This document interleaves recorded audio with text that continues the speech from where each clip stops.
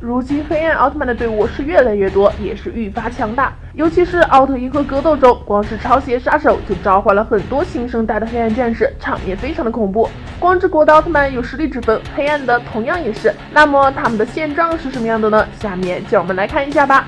首先就是超邪杀手了，是奥特六兄弟的怨念体，因此他们几个也是非常惧怕超邪的。还有那些他召唤出来的黑暗奥特曼，同样也是小弟，因此他算是有点地位的。可惜在剧中被新生代利用赛罗的力量给团灭了，否则他也是会越来越强的。其次就是托雷加了，大家也是在正剧看到超邪的诞生就是老托在背后搞鬼，而且也是顺利的将新生代引入了圈套，也就是泰迦一开始的剧情。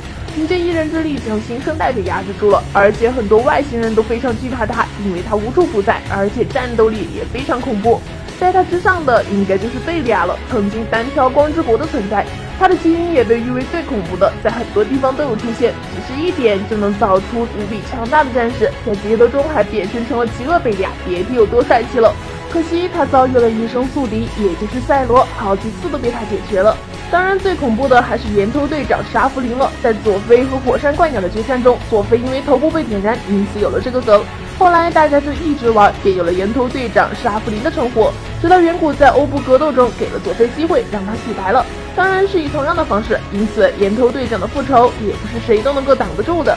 好啦，以上就是本期带来的内容了。大家对此有什么想说的吗？欢迎评论留言哦。我们下期再见啦，拜拜。